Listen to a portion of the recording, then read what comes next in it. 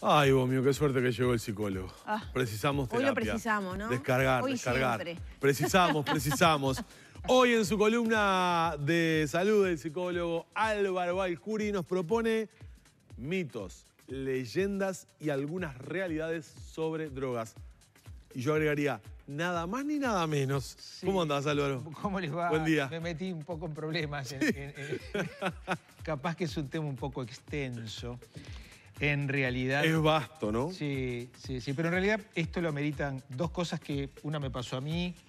eh, saliendo de la playa en un balneario de la Costa de Oro, encuentro una especie de mm, mm, este, congregación religiosa en donde el pastor hablaba de que, palabras más, palabras menos, la droga es el mal. ¿Mm? Al mismo tiempo en el noticiero estaban dando la, la noticia de que habían incautado un cargamento de toneladas de cocaína.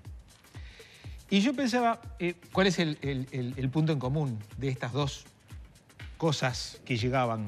Este, que me parecía que no tenían nada que ver con lo que eh, en el consultorio sabemos que es combatir no las drogas, sino las adicciones.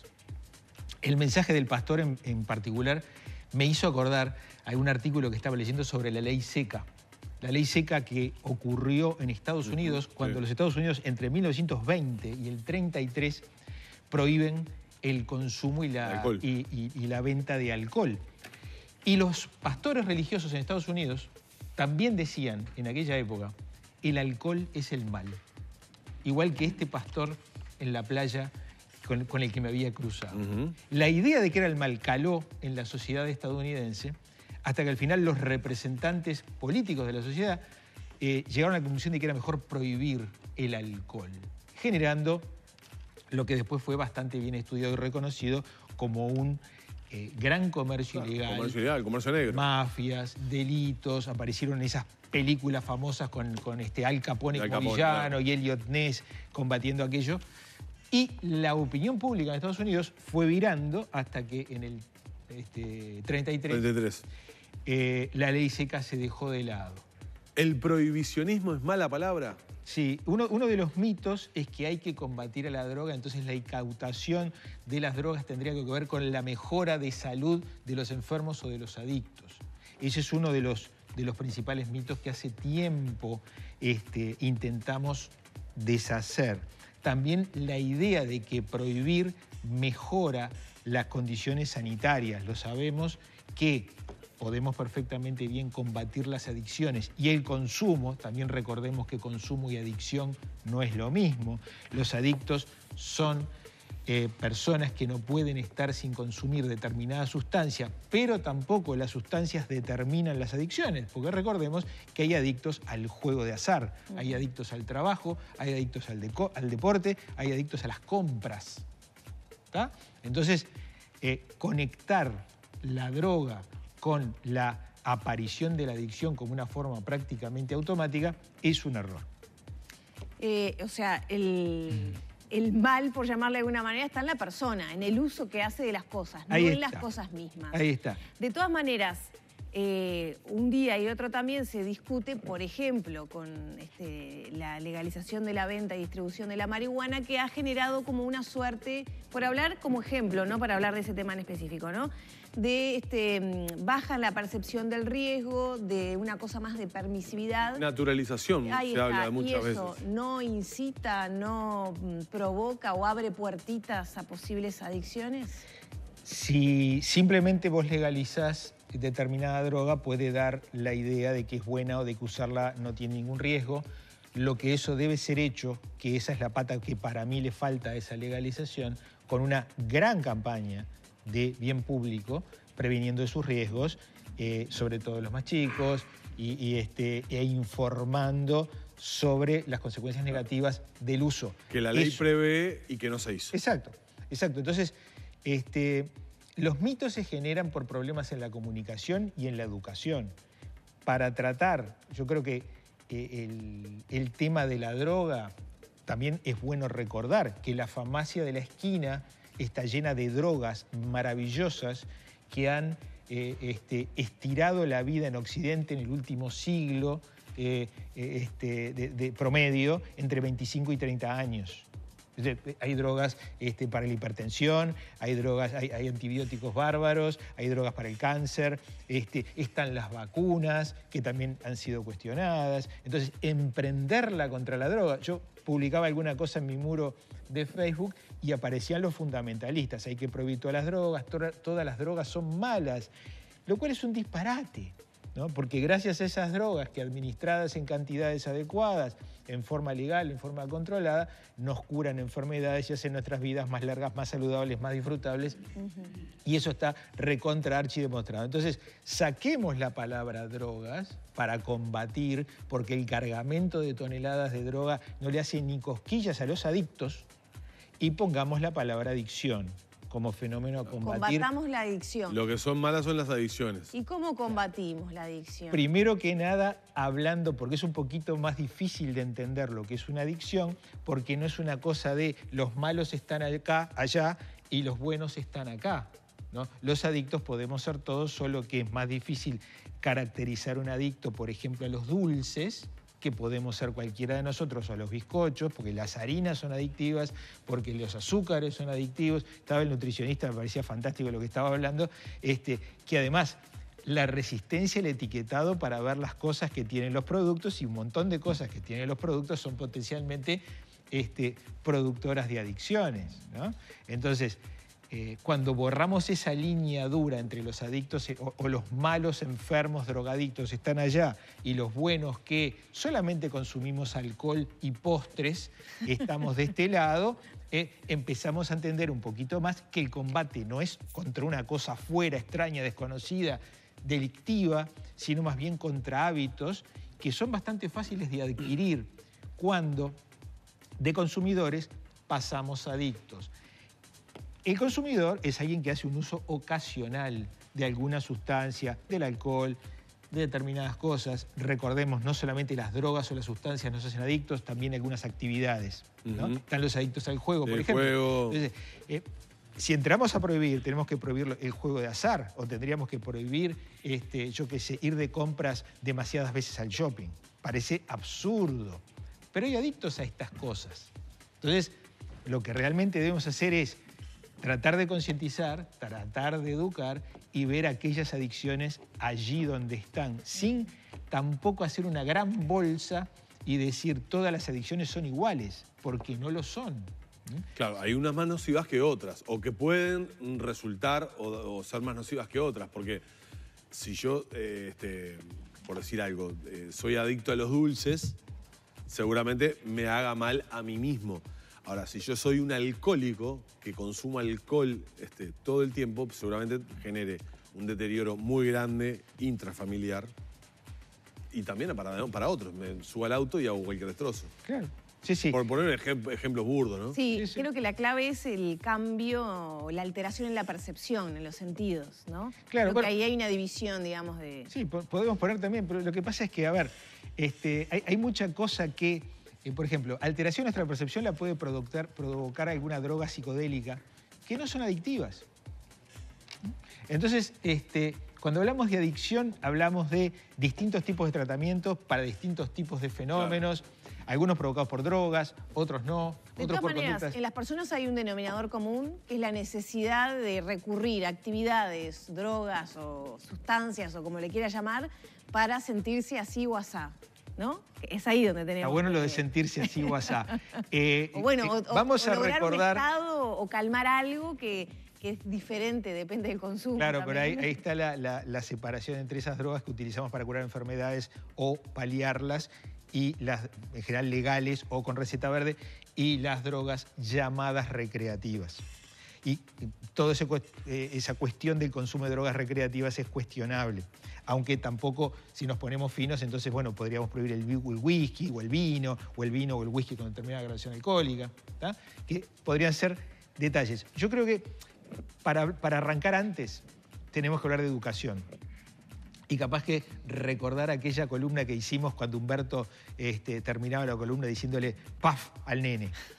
Lo cual yo decía, eh, Sí, Humberto, este, nos estamos pasando de roja. Pero había, había un, déficit educativo, había algo que a los adultos nos cuesta educar, que es eh, la diferencia entre el consumo de cosas que necesitamos, porque tengo sed, porque tengo hambre, porque necesito recreación, y de repente que ese tipo de consumo de esas cosas puede ser excesivo y que la medida de ello la empezamos a aprender con nuestros padres en la primera infancia.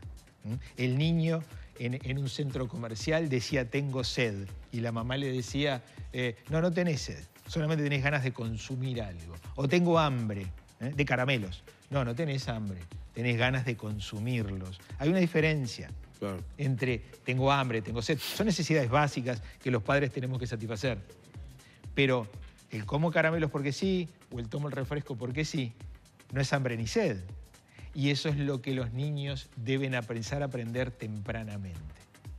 Y eso nos cuesta mucho educarlo, porque los propios adultos muchas veces también nos comportamos como niños con nuestras supuestas necesidades de consumo de cosas recreativas o divertidas, a la cual no le ponemos límites. Y si nosotros somos malos poniendo esos límites o no nos lo ponemos a nosotros mismos, ¿qué hábitos podemos contagiarles a los más chicos si no lo hacemos nosotros mismos? ¿Se entiende? Yo creo que ahí arrancaríamos un poco mejor. El combate contra las drogas o contra las adicciones. Contra las drogas me parece que ni siquiera tiene sentido decirlo así. Realmente, desde el punto de vista de la salud, es contra la adicción, que son un abanico bastante diverso. Estoy escuchando porque nos están mandando sí, pero no sé si este, tenemos para algunas Hay muchas inquietudes, sobre todo de madres de, personas adictas. Y también me parece un costado interesante que, eh, que a veces se etiquetan a los adictos como... Delincuentes. Delincuentes, las peores personas del mundo, con las peores familias del mundo, y ni tanto ni tampoco, ¿no? O sea, ni las familias son tan disfuncionales siempre, ni los adictos son malos. ¿Son y, otro mito, la droga hacia el adicto. En realidad es al revés. Los, las personalidades potencialmente adictas que tienen determinado perfil, que tienen determinados trastornos, van a la búsqueda de la sustancia adictiva, van a la búsqueda de la actividad potencialmente adictiva. Te estaba por preguntar eso. ¿Cuáles son las personalidades o cómo se va gestando un potencial adicto a X droga? Eh, es una cadena de aprendizajes, de malos aprendizajes, de hábitos, de ausencias. Hablaba de esta, de esta columna que hicimos con, la mamá intentando separar necesidades de caprichos o de consumo exagerado de cosas. Cuando adquirimos el hábito de este consumo que nos hace dependientes por distintas razones, eh, después no tenemos un autocontrol el adicto va estrechando el abanico de cosas que lo satisfagan. Lo que hace el adicto es adherirse a una, un tipo de satisfacción básica de lo que le pasa. Entonces, ya no es comer, ni es tomar, o dormir, descansar o divertirse. Es solamente el consumo de la droga o de la sustancia o de la actividad que lo hace feliz entre comillas. Hay un mal aprendizaje, un mal camino que lo lleva a ese destino equivocado. Porque no se vuelve de la noche a la mañana. No. Es decir, tiene una sumatoria de, episodios o de situaciones en la vida, desde niño supongo, que se gestará, que lo llevan a, justamente a, caer en hay, esto. Hay un montón de pasos en la cadena que terminan por cristalizar allí. También es una simplificación hablar de que tal droga es una entrada no, este, esa personalidad ya es potencialmente este, vulnerable a las drogas. puede ser la entrada con tal droga, puede ser la entrada con, otra sustancia que no está prohibida y con la que no hacemos una casa de brujas. Tenemos que hacer mejores diagnósticos, más personalizados, más eficaces y e intentar ayudar a ese adicto que puntualmente necesita interrumpir esa sucesión de pasos para no llegar al destino que es esa adicción dura. A propósito de la ayuda, eh, hay un par de mensajes que nos han llegado de madres que dicen que sus hijos adictos a diferentes sustancias, en estos casos drogas, no quieren ayuda profesional. ¿Se puede salir sin ayuda profesional? Hay que ver cada caso en particular. Eh, hay algunos tipos de ayuda que tienen que ver con cambiar de contexto, con salir de algunos este, lugares sociales este, y culturales. Hay algunas ideas religiosas que de alguna manera canjean la, adhesión a la droga por un credo, por un culto. Yo no soy este, fundamentalista con, este, los tratamientos. Siempre puede aparecer algún tratamiento que adecuado a la personalidad de la persona, a su contexto, a su edad, no es lo mismo una persona que tiene 50, 60 años, que es adicta, por ejemplo, a los ansiolíticos, que es muy adictivo, que se dan con receta verde, se supone, pero después la persona se acostumbra y no puede dejar de tomarlo, que por ejemplo un chiquilín que tiene 14, 15 años que eh, fuma porro todos los días. Son situaciones absolutamente diversas y te podrás imaginar que las estrategias tienen que ser diversas. O sea, es recomendable que un profesional adecue, digamos, un camino para esa persona en particular. Pero sobre todo, a veces la medicalización de todo al barrer espanta. ¿no? Entonces hay una cosa de, de sanción social, vos sos un enfermo, esa etiqueta ya de por sí no está ayudando a poder acercarnos a esa persona. No, pero es lo primero que le ponemos, la etiqueta, el rótulo. Es lo primero que le ponemos, ¿no? Claro, enfermo o delincuente. Claro. Entonces, eso te podrás imaginar que no ayuda a que la persona se acerque a buscar ayuda, sino que más bien huya.